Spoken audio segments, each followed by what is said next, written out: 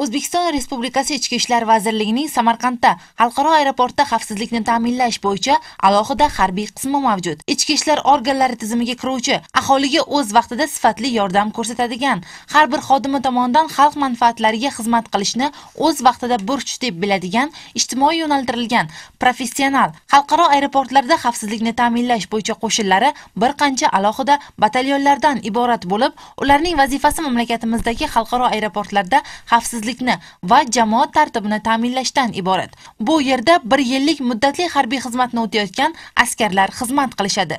Joriy yilning 7 mart kuni yangi 2022 yilgi chaqiruvdagi 50 nafarga yaqin yosh askarlar vatani oldidagi burchni ado etish uchun bir yillik muddatli harbiy xizmatga qabul qilindi. 48 nafar yosh e, muddatli harbiy xizmatchilarni e, muddatli harbiy xizmatga qabul qilib oldik.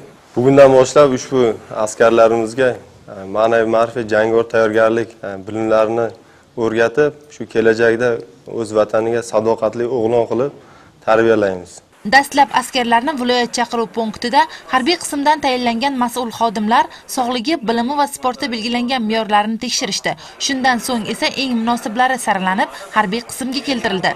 Ularga payariq tuman mudofaa ishlar bo'limi va ichki ishlar vazirligi tomonidan tashkillashtirilgan tushlik hamda sovg'alar tarqatildi.